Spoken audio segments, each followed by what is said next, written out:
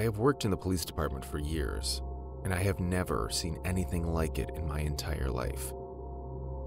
It was supposed to be a simple reconstruction, and I was just supposed to report back to my superiors.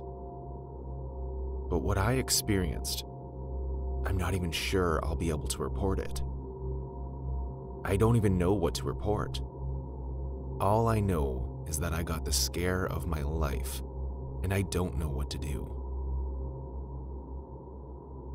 As one of the top detectives in my precinct, I was very happy when my superior officer handed me a new case file. And it was for a murder case. I remember being so filled with joy. I had been waiting for a case like this, and the fact that it was a murder case made me more excited. If I cracked this case, I would be praised by my peers and even my superior officers. I was determined to give it my best shot and crack the case. If I'm being honest, a part of me initially expected that this would be so simple. I pride myself on being an excellent detective, and this was not my first case. I had helped solve plenty of murder cases in the past, and they were almost all the same to me. Either the wife turns up dead and it turns out it was the husband, or sometimes it was the other way around. But from my experience, when there was murder, it was most likely a family member that did it or at best, a very close friend. Either way, I was prepared to handle it. I brought the case file home that day, and I was excited to go through it. But it was the most surprising thing I had ever come across. It turned out that this case was not like any other case I had worked on in the past. It was a lot different, and there was no way it would be as easy as I thought. The victim was found dead in her house, and there were no leads. The worst part was that the victim had no known family member, no children, or husband, or even friends. She lived in a duplex building outside of town, and no one really knew a lot about her. Only that she was the typical old lady in children's stories. She never liked people coming by her house, and she never gave out candy on Halloween. In fact, she kept to herself all of the time.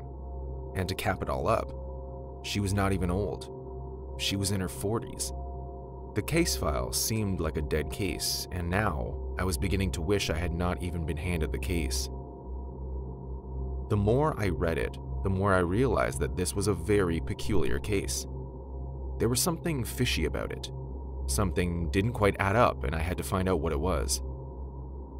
It was clear that this was a murder, but who would do this? She never bothered anyone. She was not the most pleasant person, but still, why would anyone think to kill her?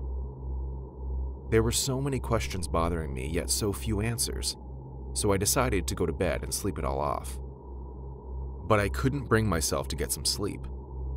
I had nightmares upon nightmares, and I felt like I would not rest until I figured out the case. I suddenly sat up in my bed and glanced at my watch. It was exactly 10 p.m. An idea began to marinate in my head, but I was not sure if it was the right thing to do or not. A few more moments of thinking, and I grabbed my coat and car keys, and in the next few hours, I found myself in front of the house wondering if I was doing the right thing. For some reason, I needed to see the house. I needed to investigate indoors. I didn't care that the police had already done a clean sweep. I had to be here alone to see things for myself and maybe I may notice a couple of things that can provide insight into the investigation. I took in a deep breath and walked into the house and realized the door was open. It was a bit windy and cold, and instantly, I felt the urge to sneeze because of all the dust. She had been dead for only a week. Why was there so much dust? I grabbed my flashlight and slowly walked into the sitting room, which looked so simple and quaint. There was a rocking chair just by the TV, and just when I was about to look away, I realized that the chair seemed to be moving slightly back and forth, like someone was just there. I gasped and shifted backwards when I felt like I had collided with someone. And I turned around and there was nothing. Nothing. I felt something behind me. I felt someone behind me. I was so sure of it I was not crazy. The whole thing was getting a little too spooky for me, so I decided to leave as soon as I could. This did not look good at all, and I decided to come back later in the day. The darkness was not helping. But as I turned to leave, I heard a noise coming from the kitchen. It sounded like someone was there. I knew what I heard. This was a secluded area, and there were not many sounds around. I could not have heard anything else. Hello? I called out as my detective senses were tingling and I slowly approached the kitchen. Maybe the killer wanted to steal something of hers and had chosen tonight to come for it. I was brimming with excitement. I thought I was going to catch the killer, or at least catch someone who would turn out to be a lead. It would be the greatest thing that could ever happen to me in my career.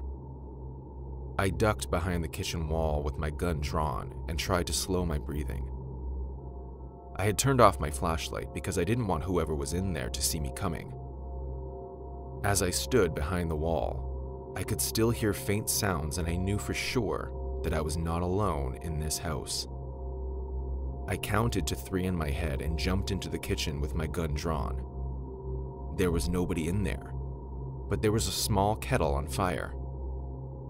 I could hear the sound of boiling water, and my assurance was further strengthened. I was not alone. I turned off the safety of my gun and turned on my flashlight as well. The tension in the air was intense, and I could feel my heart pounding heavily in my chest. Police, come out now, I called out, trying to make sure my voice was not so shaky. But I knew I was failing miserably. Whoever they were, they were taunting me. I could feel them around the house.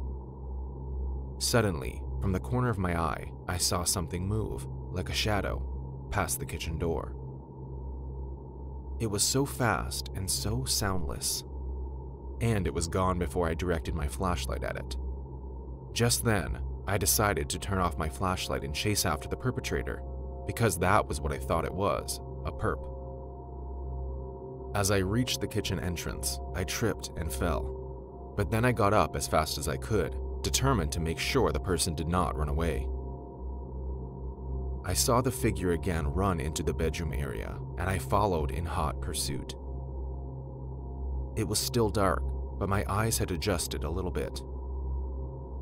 I got to the bedroom and locked the door behind me. You're trapped now, I said holding my gun tight in front of me. Then I began to hear some whispering coming from the closet, or maybe it was whimpering. I was not so sure, but as soon as I heard it, I knew I had gotten the killer. But there was something strange about it. From the cracks in the closet, it did not seem like anything was in there, and besides, the closet had been sealed shut by tapes. There was no way anyone could have gotten in without taking out the tapes at least. I was confused, but I approached the closet and the whispering stopped, then started again, then stopped. I knew I was onto something, so I began to tear the tapes one by one till the closet was free enough for me to open. As soon as I opened the closet, I realized that it was empty, and now I felt like I was losing my mind. I stepped back slowly and once again bumped into something. But this time, when I turned, there was someone there, or should I say, something. It was the woman, the victim. I recognized her from her pictures. She seemed to be floating in the air and was as white as snow. I was about to scream when she placed her hand on her lips. Then she screamed, Leave! I ran past it and threw myself out the bedroom window and got in my car as fast as I could. Needless to say, I declined that case, and that was the last I ever heard of it. I wonder who got the case next.